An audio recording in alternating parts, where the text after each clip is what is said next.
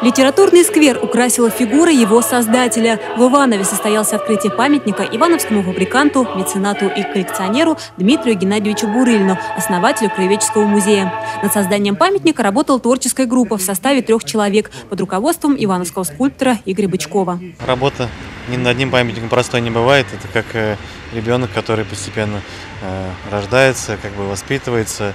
И порой даже сам в итоге не знаешь, э, порой как как судьба сложится у той или иной скульптуры. То есть работа была сложная, но интересная и, я думаю, успешная. Автору проекта помогали московские скульпторы, отец и сын Александр и Владимир Твердовы. Работали слаженно и быстро. Время было необычайно, необычайно сжатое. Работали мы непосредственно в Иваново, приезжали здесь. Ивановские власти нас великолепно принимали, за что им огромное-огромное спасибо.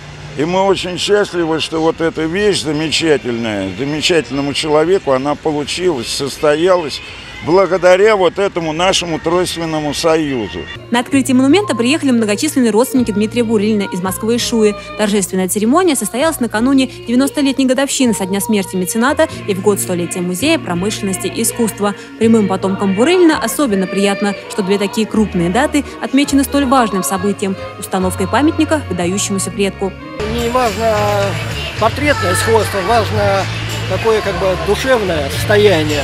Я думаю, что ивановцы проводили конкурс, я знаю, было несколько проектов предложено, и они, наверное, выбрали самый такой правильный, кто им по душе. Ну а скульпторы воплотили, переполняет радость и то, что вот память предков увековечена, а сейчас увековечена в виде памятника. Это очень приятно, что ивановцы помнят его, что нашли возможность памятник воздвигнуть. Символично, что памятник Иваново-Вознесенскому меценату создавался на финансовые средства современных жертвователей. Традиции благотворительности, заложенные Дмитрием Бурыльным, продолжают жить в Иванове и по сей день.